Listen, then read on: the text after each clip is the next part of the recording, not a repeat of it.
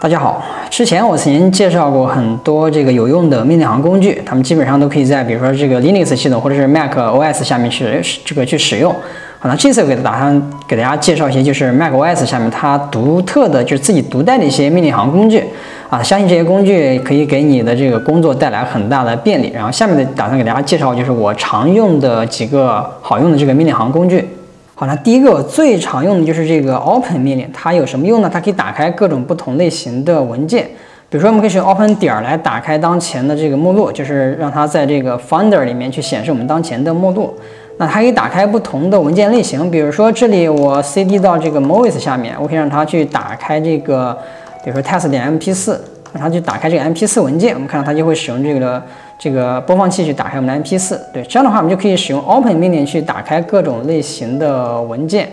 呃或者文件夹。所以我觉得这个是非常方便的一个命令，就是也是我最常用的就是 Open 这个命令。对，这里大家可以用这个 TLDR 去查询它的文档，你可以使用 pip 去 install 这个 TLDR 就可以了，然后就可以用它替代这个 man 命令去查一些常用的这个文档，比如说这个 open，我们可以看到刚才我演示的就是使用 open 去打开一个文件或者是打开这个呃特定类型的文件名都可以。对，这个是我最常见、最常用的一个就是 open 命令。啊，配合这个 auto jump，就是我们可以使用 J 去跳到这个各种文件夹下，比如说这个 document。对吧？然后我们再使用 Open 就可以快速的打开我们需要的这个文件，啊，这个其实也就是我在各这个 Mac 下面最常用的这个一个命令。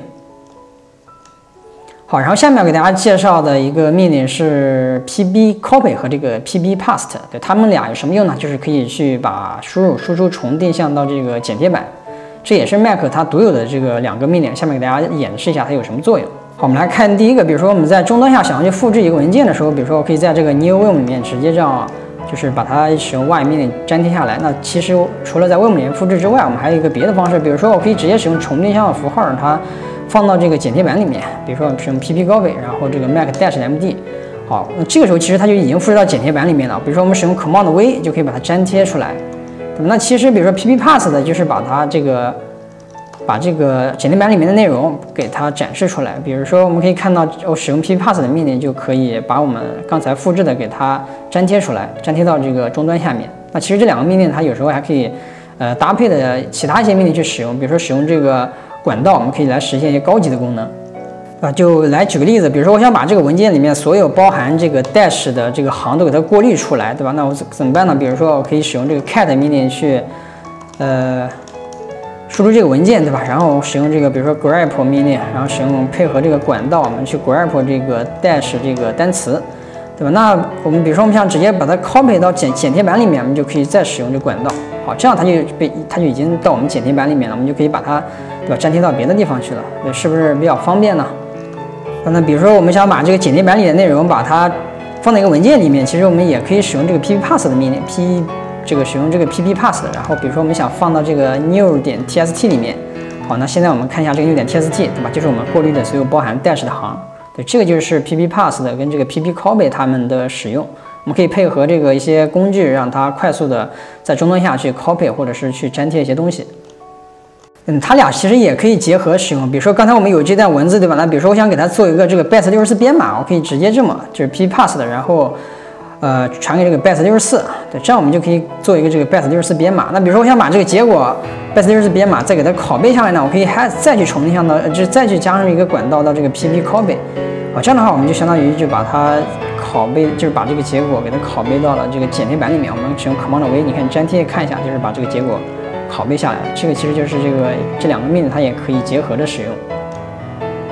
好，下面介绍的这个命令可能对一些有一些人有用啊。就比如说，我想去在一定的时间去关电脑，比如说我有一些工作在做，对吧？我想让这个我现在在下载东西，我让这个电脑在六十分钟之后关闭。我们可以使用这个 shutdown 命令。对，这样的话我们就可以让这个机器在这个六十秒之后去关闭。比如说我们这个使用速度，然后使用这个，但你需要输你的机器的密码，对吧？然后使用这个 shutdown 杠 h，然后加上这个六十就可以了。它表示你的机器将在六十分钟之内就是会关闭。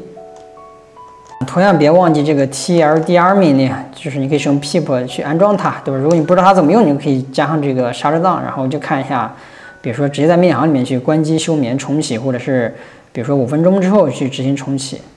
好，最后要给大家介绍的应该是应该很多人都知道吧，就是这个 Brew Install，就是这个命令需要额外去安装，它是一个呃，